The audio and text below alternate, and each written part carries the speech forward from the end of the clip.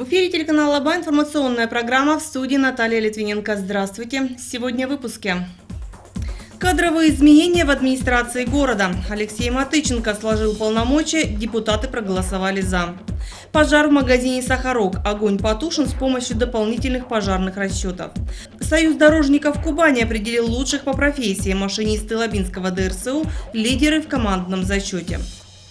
Магазин продовольственных товаров «Сахарок» серьезно пострадал от огня. Пожар случился вечером 13 июня. Чтобы его потушить, пришлось привлекать дополнительные силы из Мостовского и Курганинского районов. Густой столб дыма виден издалека. Новость о том, что горит один из продуктовых магазинов в Лабинске, быстро распространилась. Пожар очевидцы снимали на мобильные телефоны и сразу выкладывали видео в интернет. Со слов работников торгового объекта, Сахарок загорелся около 19 часов. Пацаны какие-то выскочили, я знаешь, я было видел трое малолеток. И в натуре начали подон прям полностью загорелись, все сразу же. Не то, что там один, а все они загорелись. Во сколько это было? Э, блин, где-то 7 часов ровно это было. Ровно 7 мы закрылись, вот это все началось. Со слов свидетеля Геннадия, загорелись поддоны, которые лежали возле складского помещения магазина. Огонь был такой силы, что мгновенно распространился на воспламеняющиеся материалы. Пламя буквально захватило второй этаж здания и начало быстро распространяться.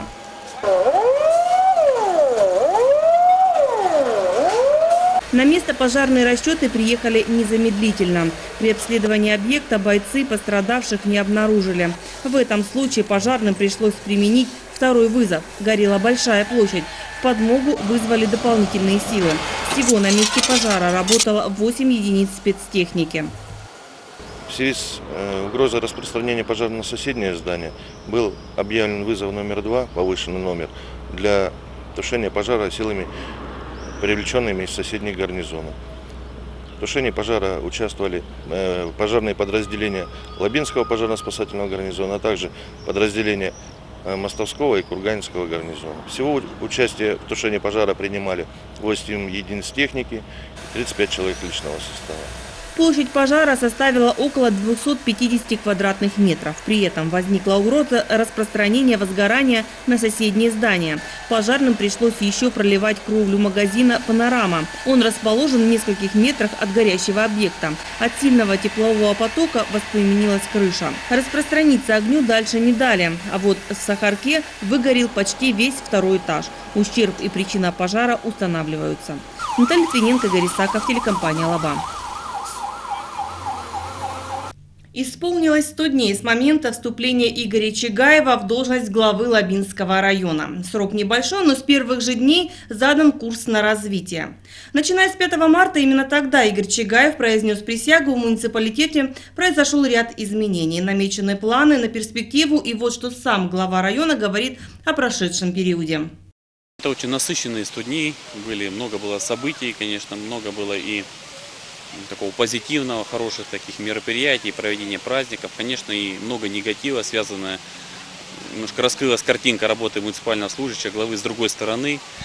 Хочется, меня такой характер, все и сразу, быстро поменять ситуацию к лучшему, чтобы и все дороги, и скверы, и парки, и газоснабжение, и водоснабжение привести все в порядок. Ну, э, прекрасно все понимаем, что это невозможно одномоментно все это сделать. Поэтому мы определили приоритеты вместе с командой, которую начал тоже, конечно, с корректировки, прошла определенная и оптимизация, и перезагрузка.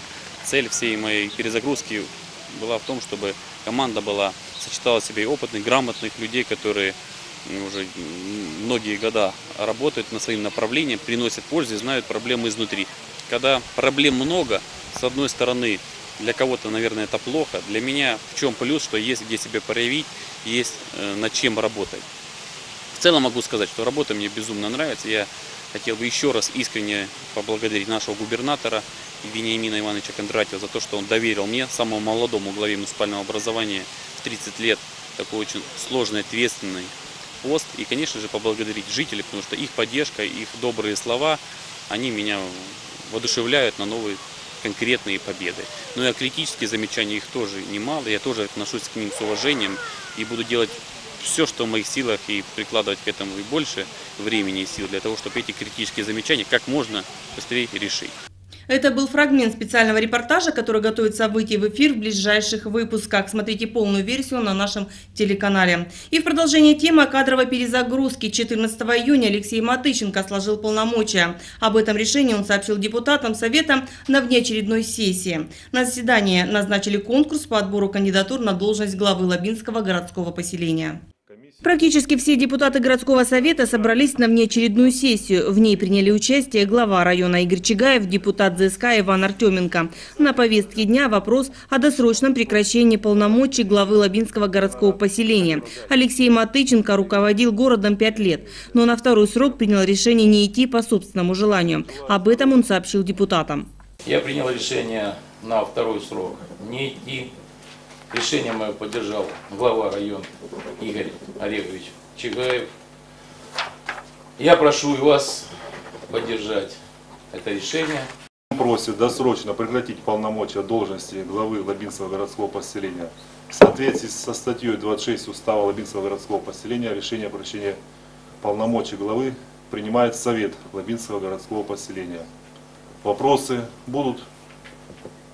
Если вопросов нет, кто за, прошу голосовать. Против, воздержался, решение принимается. Такое решение поддержал глава района, отметив при этом, что в городе проделана большая работа по всем направлениям и перспективы развития еще есть. Он готов определять э, подобные критические ситуации. Его опыт обязательно пригодится в районной администрации. Мы его приглашаем к себе в команду заниматься вопросами ГУЧС, жилищно-коммунальным комплексом, строительством, там, где все эти качества, в первую очередь, и заместителю главы необходимы. опыт, который Алексей Николаевич накопил, работая мэром города, он пригодится в ЖКХ. Я хотел бы пожелать, чтобы вы уделили внимание большой инфраструктуре города, ну и другими вопросами и другими поселениями. Я так понимаю, функционально вы будете отвечать за весь район в области ЖКХ, ГВЧС.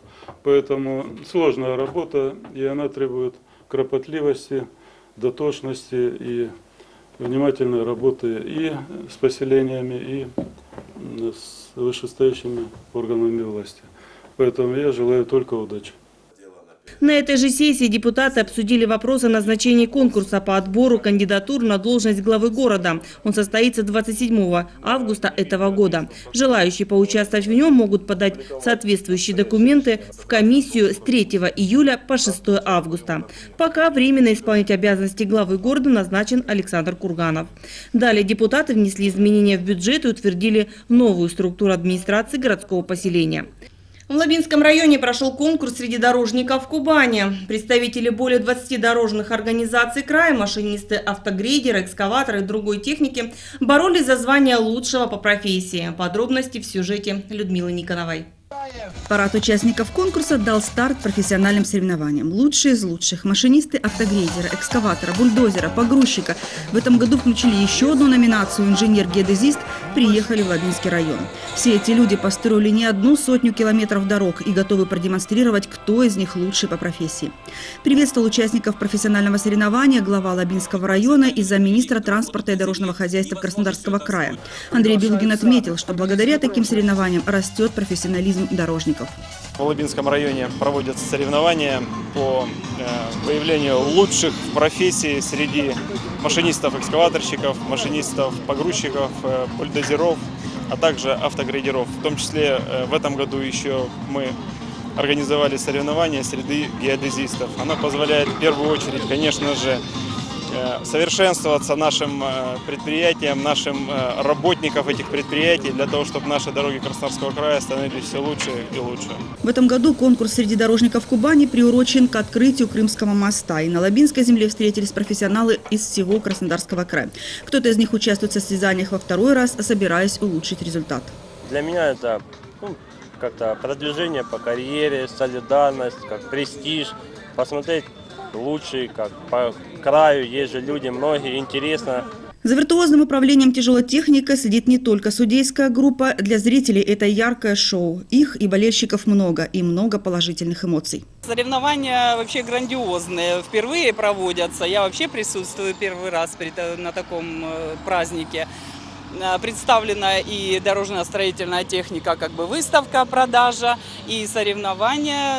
Ребята вот съехались со всего края, м, специалисты большого класса, я так думаю. Вдоль отведенного участка, что находится в районе Владимирского карьера, выстроилась дорожная техника, демонстрация агрегатов последнего поколения, машин и возможность обновить парк. У главы Лабинского района и есть интерес.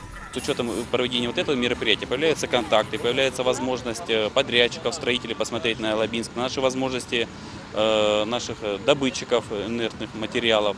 Все это позволит привлечь внимание дорожной отрасли Лабинского района, позволить нашим предприятиям повысить свои продажи, тем самым налогооблагаемая база повышаться. Также здесь представлены компании, которые занимаются реализацией дорожной техники.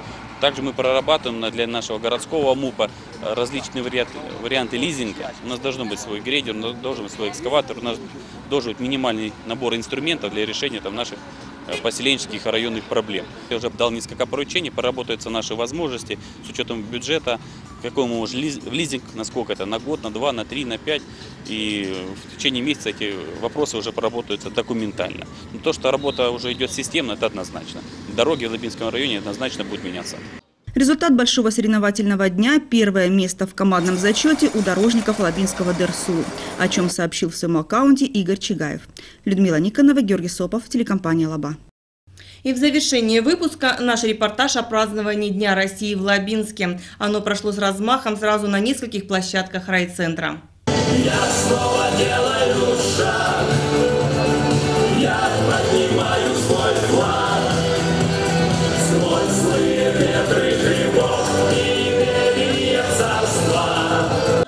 Сотни жителей Лабинска вышли на улицы города, чтобы отметить День России. Площадь кинотеатра «Восход» в очередной раз стала концертной площадкой, на которой выступали местные артисты.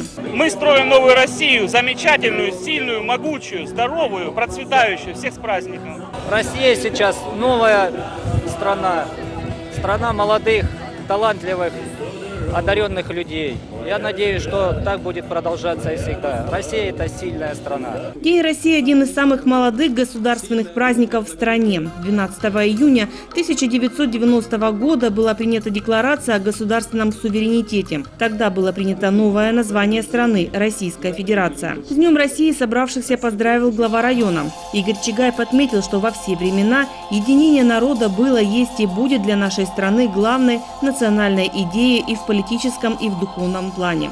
Эта историческая основа связывает воедино прошлое, настоящее и будущее. Мы все любим нашу малую родину, и мы обязательно все вместе, каждый на своем служебном месте, где бы он ни работал, чем бы он ни занимался, будем выкладываться на 100% и больше для того, чтобы жизнь вокруг нас менялась. Наши предки завоевали нам свободу, мир, возможность жить и развиваться, а мы должны сделать все для того, чтобы наше государство по-настоящему вышло в лидеры на мировой арене, и наш муниципалитет был один из лидирующих муниципалитетов на территории Краснодарского края. Этот день для 10 молодых лабинцев стал одним из самых важных. В торжественной обстановке Игорь Чигаев и начальник отдела по вопросам миграции отдела МВД Светлана Панферова вручила им паспорта гражданина Российской Федерации. Для меня настоящее событие, что я получил паспорт этот. И я могу гордиться этим. Он рожден у нас 1 числа июня, тоже в праздник, поэтому получаем паспорт тоже в праздник. Благодарностью главы района за высокие достижения в творческой, интеллектуальной и спортивной деятельности были награждены 20 молодых человек. Я очень рада. Ну, дали мне за то, что я э, долгие годы участвую в концертах, в разных развлекательных программах и, собственно, дарю настроение и радость, мне кажется, только за это. Воодушевление, патриотизм, дух патриотизма витает. Прекрасно. В течение часа гостей праздника радовали своими выступлениями творческие коллективы.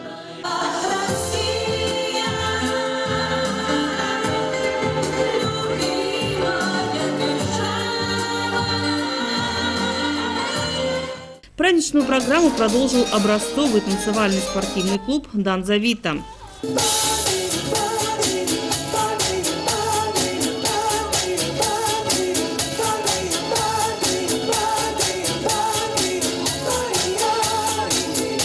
Возле площади Восхода для всех жителей и гостей города работала выставка декоративно-прикладного искусства «Подворье ремесел». Лучшие мастера представляли изделия художественных народных промыслов и ремесел, выполненные в различных техниках и направлениях декоративно-прикладного творчества. Лоскутное шитье, народные куклы, резьба по дереву, ковка, народная игрушка, кружево, плетение из соломы. Для всех желающих проходили мастер-классы. Праздник очень большой, э, организованно превосходно. Много тематических мероприятий в этот день проходили в городском парке культура. Здесь работали концертные площадки и выставки. Тематическое мероприятие организовали сотрудники библиотеки имени Лихачева. На стеллажах вся история России. От начала до сегодняшнего дня. Желающие читали стихи известных поэтов. Игорю Чигаеву рассказали, какой литературой сегодня интересуются читатели района. На память глава написал пожелание процветания России и автограф на стилизованной стене. Здесь же на сцене прошел концерт «Пою тебе, моя страна». Праздничная программа, посвященная Дню России, продолжилась вечером на площади Родина. Работники Дома культуры организовали развлекательную программу. С детьми работали аниматоры. Гостям рассказывали о казачьем укладе, о том, как много лет назад наши предки осваивали кубанские земли, как появилась Лабинская станица. Завершился праздничный день концертом «Виват Россия». Подарком для всех гостей стало выступление юных артистов. Они пели и танцевали, и признавались в любви своей родине, говорили искренние слова пожелания жителям самой большой страны в мире – России. Ну а сейчас о погоде на 15 июня. По прогнозам синоптиков снова будет жарко. Ночью 18-20 градусов, днем синоптики обещают до 35 градусов. Осадков не ожидается. Ветер северо-восточный до 5 метров в секунду. Атмосферное давление 732 миллиметра ртутного столба. Это все на сегодня. Всего доброго. До свидания.